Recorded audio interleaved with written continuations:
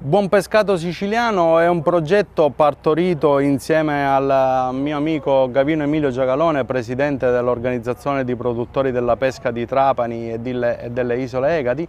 eh, con una finalità ben precisa, cercare di dare una maggiore valorizzazione eh, quindi alla produzione eh, de, dei prodotti ittici di tutta la nostra flotta aderente a questa organizzazione. Abbiamo pensato di eh, mettere in atto una serie di azioni che sono racchiuse in questo progetto chiamato Buon Pescato Siciliano, piacere di conoscervi,